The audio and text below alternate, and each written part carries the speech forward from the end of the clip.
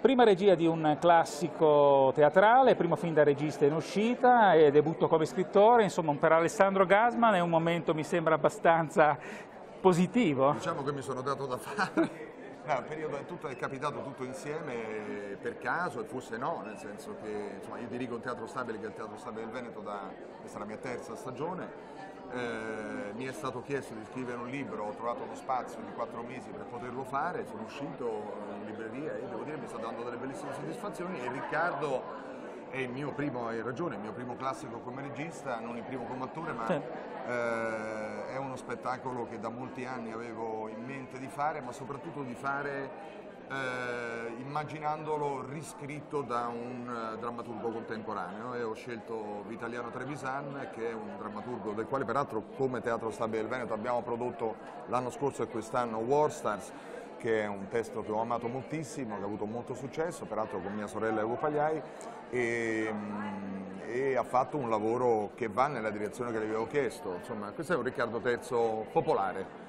Avevo voglia di fare un Riccardo III che parlasse la lingua di oggi nel rispetto del linguaggio di Shakespeare, quindi saltando a pie pari quelle che sono le terminologie antiquate, le traduzioni delle quali poco si capisce eh, e soprattutto saltando eh, le, le, tante spiegazioni che giustamente Shakespeare scriveva per un pubblico all'epoca composto in buona parte da analfabeti e che oggi risultano assolutamente inutili, che anzi distraggono e allungano un dramma che già di per sé è molto lungo. Il nostro dura 2 ore e 10, solitamente ne dura 3 e un quarto. Che rapporto c'è tra il Gasman regista e il Gasman attore? Beh, c'è un, un, ottimo rapporto quando lavorano insieme, come nel caso di Riccardo. Non si creano problemi, conflittualità?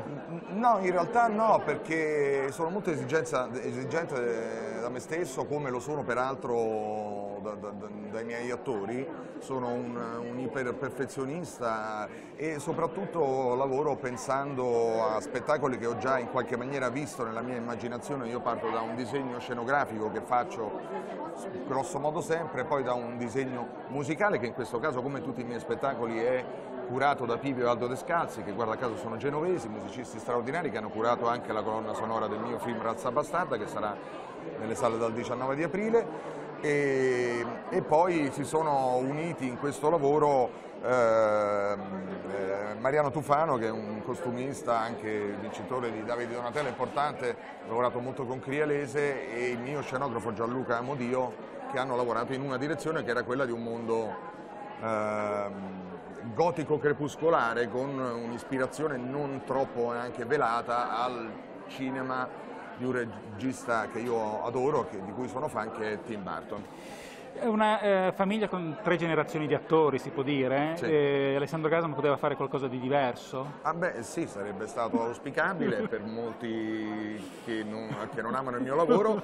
Forse è un dispiacere per chi ama quello che faccio, ma ormai mi sono abituato anche perché ho scoperto che grosso modo non è che sappia fare tante altre cose, insomma. quindi faccio quello che lentamente in 30 anni di professione ho cercato di imparare. Riccardo, ad esempio, Riccardo Terzo è occasione per me di imparare tantissimo tutte le sere. Sono, credo, migliorato molto come attore nel corso delle repliche e spero di continuare a farlo. È molto difficile il ruolo. Avevo letto una volta che eh, all'inizio, eh, che mm, avevi detto in un'intervista all'inizio della mia carriera recitavo come un cane. Sì, è vero. È vero? Confermo, confermo.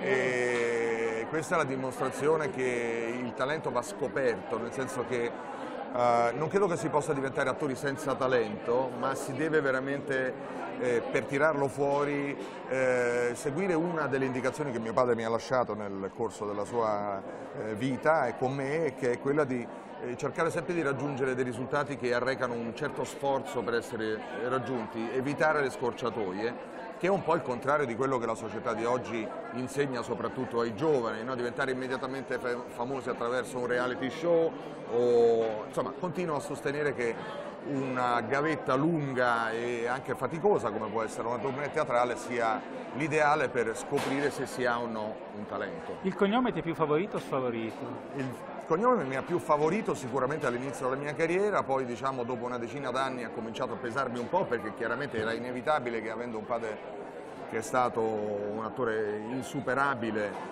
venissero fatti dei paragoni, poi da quando sono diventato regista dei miei spettacoli, questa è la mia settima regia, eh, i paragoni sono non dico cessati ma molto diminuiti e ho scoperto e ho cercato di spingere il mio lavoro e le storie che racconto verso quelli che sono i miei gusti, che sono piuttosto lontani da quelli che erano quelli di mio padre, probabilmente per una differenza generazionale molto, molto, molto larga. Insomma. Di tuo padre cosa ti piace ricordare di più? La sua generosità, in scena e nella vita.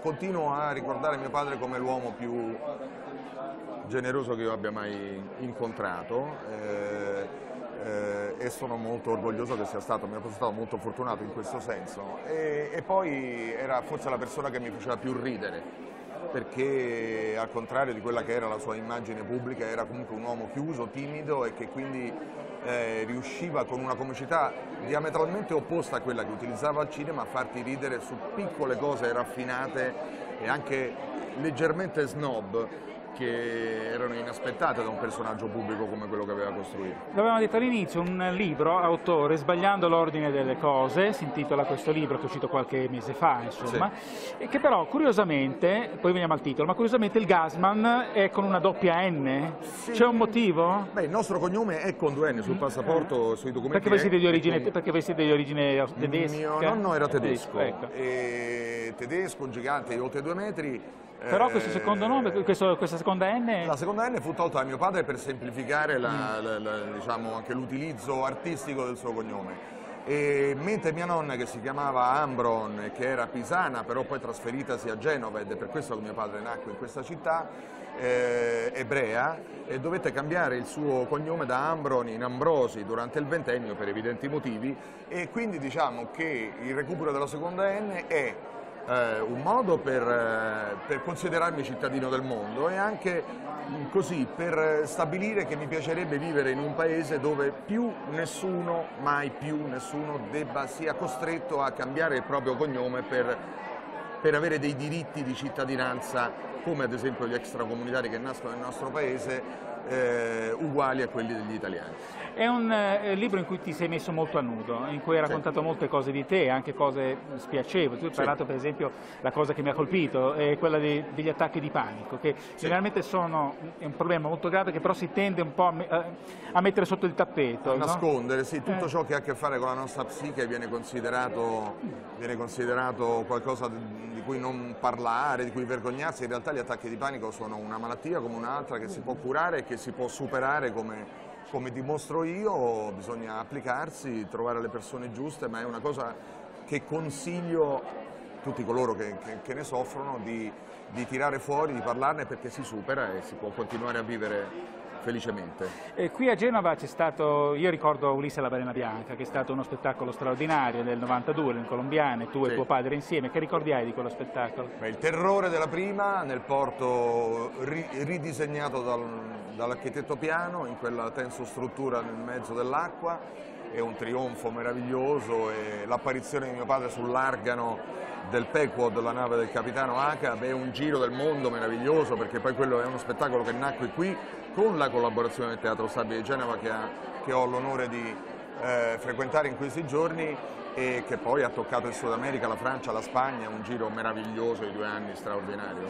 Eh, come vedi questo momento della cultura? Soprattutto per il teatro, ci sono notizie difficili che riguardano anche delle realtà genovesi? Sì, ho letto dell'Archivolto, mi dispiace molto che una realtà teatrale così importante, alternativa al teatro stabile, debba soffrire e rischiare di scomparire, sarebbe un danno gravissimo per una città culturalmente evoluta come questa e così teatralmente raffinata come dimostra ogni volta Genova, ogni volta che ho la fortuna di venire a recitare in, in questa città, eh, la cultura viene nel nostro paese considerata sempre un po' una zavorra, come qualcosa che in momenti di crisi debba essere eliminata proprio perché è un fardello inutile. Questo paese potrebbe vivere di cultura facilmente e potrebbe la cultura diventare un volano economico importante e mi dispiace che né governi di destra, di sinistra, né tecnici, né di sopra né di sotto abbiano mai messo la cultura tra i punti fondamentali dei loro programmi di governo. È molto grave che questo non avvenga in un paese come l'Italia soprattutto.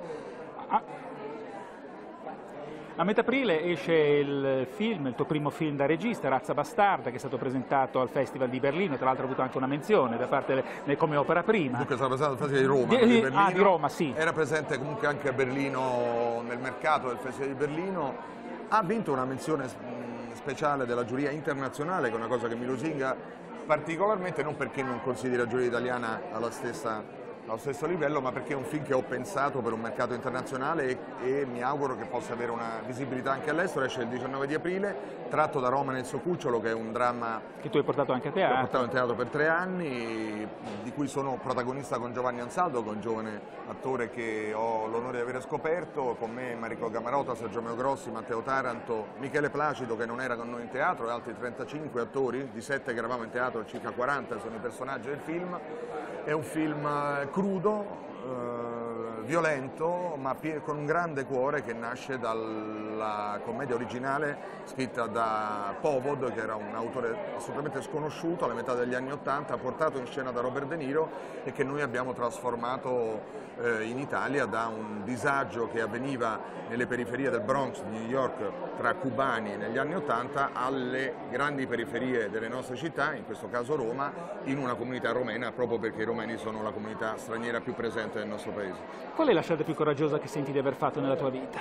Eh, beh, eh, ma io credo che per fare bene il nostro mestiere si debba sempre mettere una percentuale di rischio forte e, e, mm, e, io cerco di farlo sempre con i miei spettacoli cercando di non essere ripetitivo. Nella vita sicuramente la cosa più importante e, e coraggiosa che ho fatto è mio figlio Leo, del quale sono molto fiero e che è un, un ottimo chitarrista classico che spero che possa continuare la sua carriera di chitarrista come sta facendo all'Accademia di Santa Cecilia. Il successo ti piace, al di là del fatto che abbiamo visto anche in questi giorni, tu sei una persona molto disponibile con la gente, con sì. chi viene a teatro. Eh no, ma perché non tutti sono così? Quindi lo eh, sai anche tu che non tutti sono.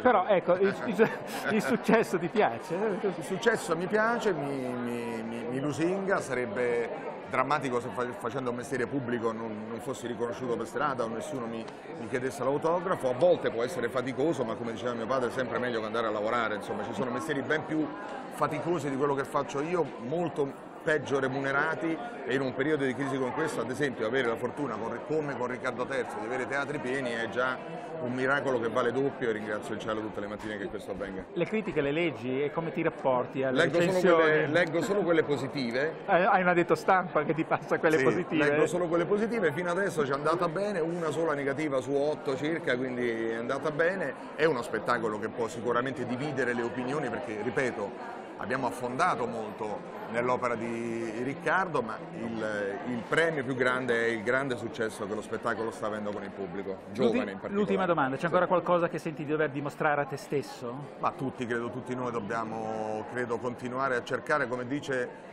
eh, un autore che amo molto, di cui ho messo in scena due spettacoli, che è Thomas Bernard, eh, dobbiamo, pur sapendo non che non la raggiungeremo mai, cercare disparatamente sempre di raggiungere la perfezione. Cioè, questa è una cosa che facevo anche da ragazzo, quando facevo salti in lungo mi ponevo una lattina 3 cm oltre il record mondiale, nella consapevolezza che non sarei mai arrivato neanche lontanamente a quella lantina, ma quel salto si allungava di qualche centimetro, aiutava l'idea di poter saltare così in lungo. Allora, grazie e in bocca al lupo. Grazie a te. Grazie, ciao, grazie. grazie.